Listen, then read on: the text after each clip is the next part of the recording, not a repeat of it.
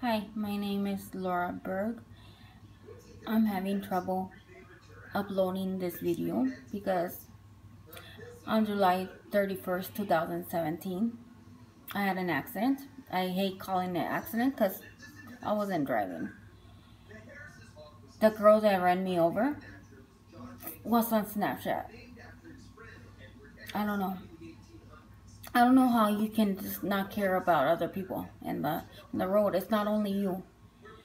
And uh, now I have problems. I have uh, I have narcolepsy. Um,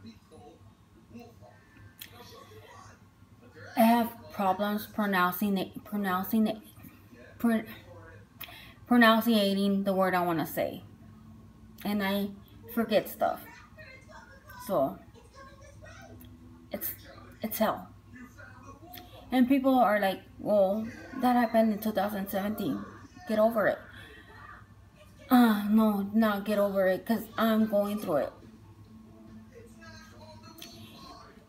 And if I want to clean my house, I have to get on the floor. And I want I have to look for what I'm looking for to clean and to get back up, I it takes me a, a while. Uh, I used to love working out. Um,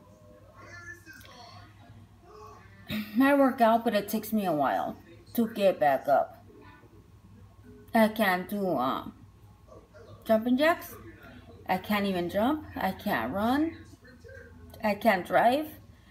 Um, there's things that I can't do that I used to love and I, used to love enjoying doing. I had a baby. He was eight weeks old when she ran me over. And a mother should know what I'm going through because that bond, I missed it because I was in the hospital. I was in a coma. So I didn't get a chance to bond with my baby.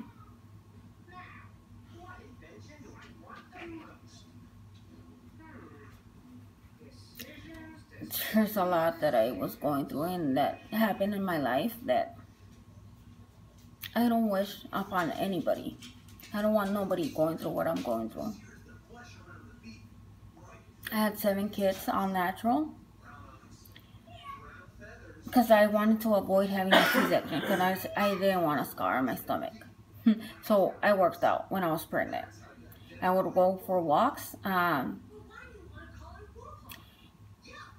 And when I was in Bethesda and I realized that I have a scar in my stomach, I was like, what?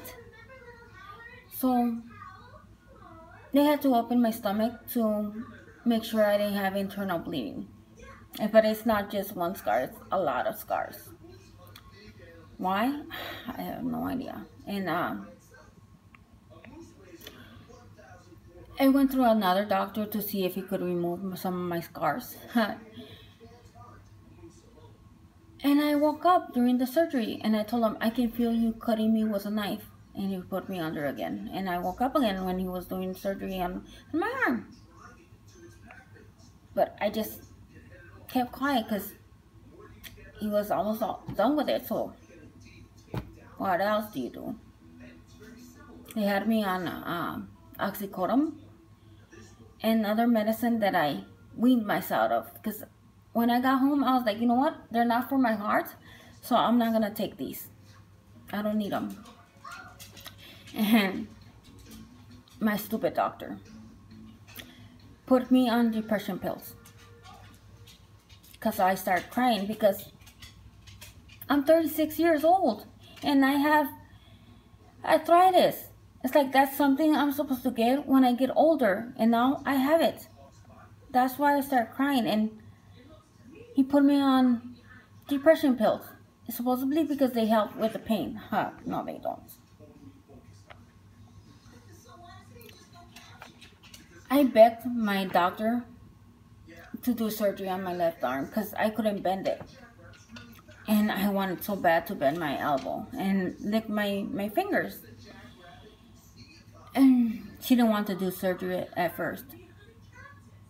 I was like, I want you to. And she was like, uh, well, what if I accidentally cut your nerve, and then I'm I'm gonna screw you because you're not gonna be able to able able able to move your arm at all. I was like, I don't care. I want you to try. So luckily, hey, she got it. So now I can touch my face. There's a lot of things like I have a lot of contacts and I can't wear them no more because I can't. I hate wearing glasses. But that's stuff I guess I just have to do it. It's just people, please. There's other people on the road. Please put the phones down.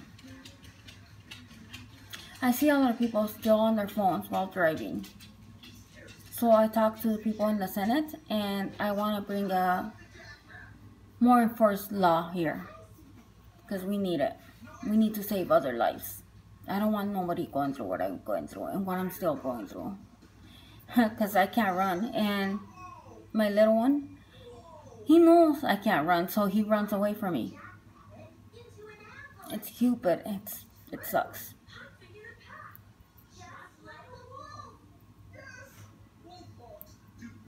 I mean, I can give up the fact that I can't drive anymore, but I'm going through a lot. I mean, uh, my self-esteem was like, oh my god, I was so in love with myself. And now I have a lot of scars. So I'm trying to learn how to live with myself with scars. So, you know, I have, there's nothing I can do now. Well, what's so important for you to be on your phone? That's what I want to know. Can you please answer me and tell me what was so important? Why did you have to be on Snapchat when you ran me over? Because I don't believe that, that you're having nightmares. I'm sorry, but I don't. After the way your family looked at me when I was going to court, no. They looked at me like I was the one in wrong. Like, oh, poor my baby. No, I'm sorry, but no. My mother, huh, she's Mexican, and she would have hit me in my head if I was on my phone. I don't know what your parents taught you, but I hope you're not doing that no more. I really hope so. And I'll continue to post more videos. I'm learning, so it takes me a while.